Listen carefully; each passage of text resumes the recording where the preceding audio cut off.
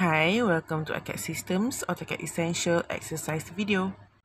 For this exercise, we're going to cover this boundary drawing. So now let's start. We're going to start with this coordinate. So type in L for line command and then just key in the coordinate 20801675.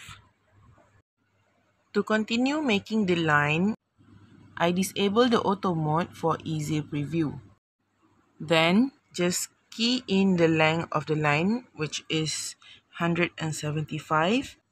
Next press tab for the angle which is 15.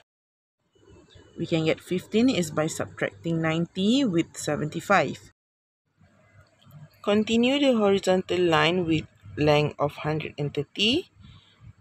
Going downward 25 another horizontal line to the right with length 80, upward 25, next horizontal line with length 75, going down with 75 vertically.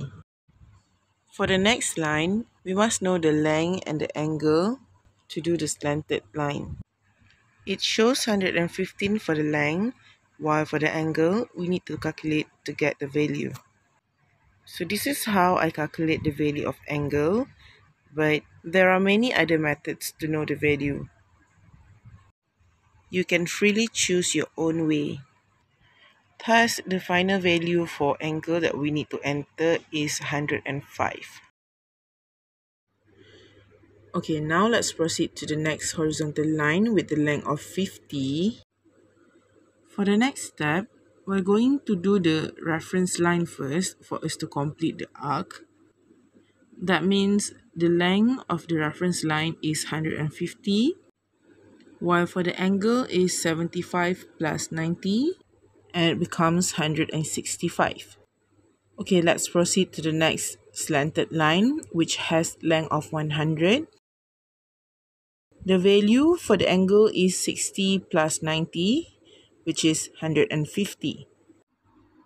Now let's just continue with the horizontal line at the bottom with distance of 60 and then the gap of 10, 30, the vertical line upward 135 and the horizontal line with length of 60.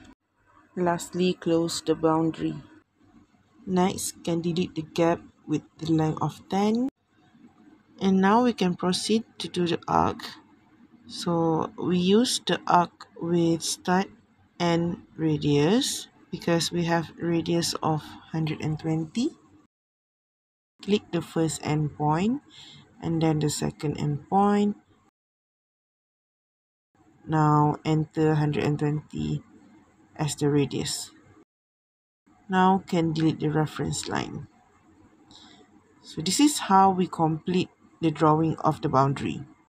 So that's it for our exercise. Thank you for joining this exercise video lesson. See you on the next video lesson.